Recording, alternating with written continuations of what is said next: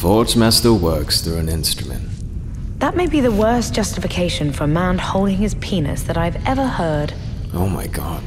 And I am 200 years old. Look, I am a Forge Master. I didn't invent the name, alright? That's just what they call us. And the magic has to be focused through an instrument, like breath being pushed through a flute. This isn't getting any better.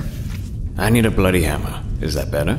So use a bloody hammer. There must be a thousand bloody hammers around here. No, it's got to be special.